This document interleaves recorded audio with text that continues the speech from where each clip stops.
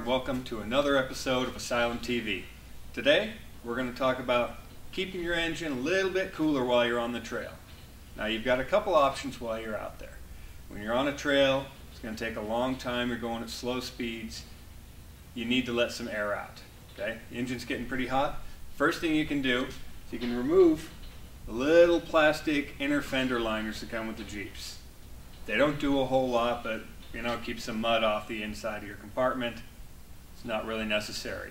When you take those off, you can feel the heat that comes out. So that brings us to our next step. We're going to vent the hood today. Now, there's a lot of options out on the market. Some of them are much more expensive than others. You can go all the way as far as getting a brand new hood with some heat reduction vents, special designs. It's going to run you upward of $1,000. What we're doing today is only going to cost you just over a hundred bucks.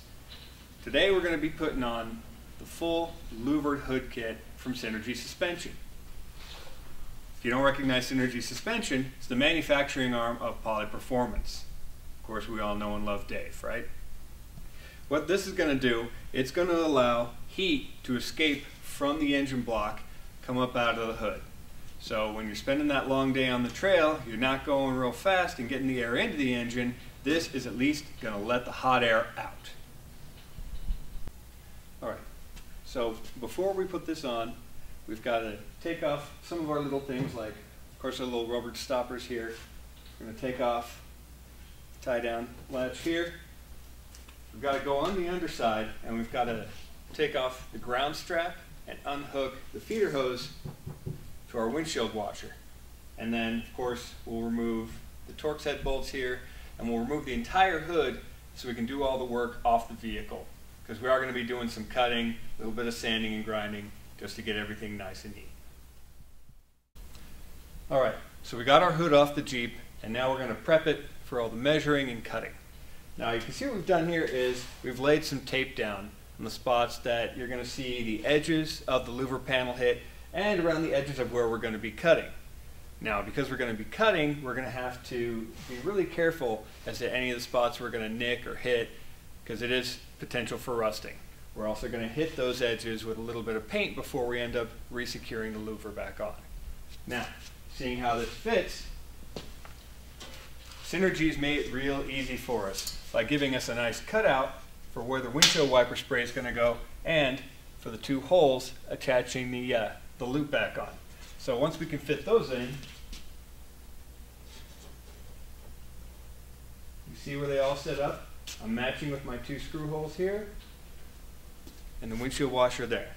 From here, what we're going to do is measure our corners to make sure that we do have an exact center fit, and then we're going to take our Sharpie and we're going to mark off all our drill holes here. All right, so you can see we've measured off, plotted our holes, and our cutting lines. Now there's a few different cuts you can choose for what type of airflow and the structural integrity that you want to keep with your hood. You can do minimal cutting, which is going to keep all the structural integrity. You can do a moderate type of cutting, which is still going to maintain all the structural integrity, but those two aren't going to give you as good of an airflow as you're going to get. The first one will give you very minimal. It's going to be pretty much for looks. The second one will give you some decent airflow coming out. What we're doing is making the full cuts along the lines of the louver panel so that we're going to get the maximum amount of airflow coming off the engine. What we also did is we measured our corners once we sat it to make sure that both corners were an equal distance from the corner of the hood and measured off to make sure it's straight when it comes off the line here. Okay. Then we're going to make our cuts, and even out the lines, toss a little paint on it. Then we'll be ready to put the louver on and start securing it down.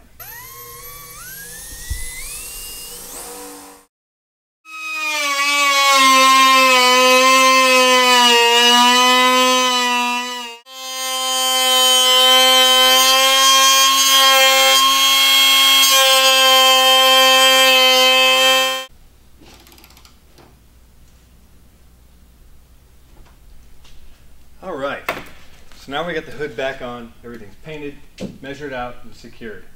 Now of course you do have your options. You can see mine here, I went with a flat black. You can order from Poly powder coated, but it's going to come more of a gloss, more of your standard powder coat. I loves me some flat black, so I ordered the raw version, took it home, and went and flat blacked it with an automotive high heat. Since we're going over the engine block, I chose that paint specifically. You've got some of your standard high heat paints that hold up to about 500 degrees, your higher heat paints that go 750 to about 1200. The Rust-Oleum Automotive High Heat can withstand up to 2000 degrees of temperature. So, of course, while our engine's running hot, we're covered. If anything does happen, you know, you puke some fluid on the manifold and it sparks up from flames, you're going to have some time to get out with your fire extinguisher, whatever you need to do, before this thing's going to be ruined. So you've got a little bit of time to be able to save it. Um, now that we've got everything secured, latch the hood back on, just going to pop the hood back up, reattach the ground strap, reattach the hose for the windshield washer, and we're going to be all done. We've got ourselves an extra bit of cooling that, got to admit, does look pretty badass. Well, there you have it. Everything's installed, reconnected, fits beautifully. Can't wait to see how much heat's coming off my engine next time I'm sitting on a nice long trail that's only about a quarter mile long. Well, that's it for today's episode. If you have any questions or you want to check out more about it, you can check out the write-ups and others on jeepasylum.com. And stay tuned for more episodes because springtime's here, so that means we're going to be hitting the trails. We'll see you soon.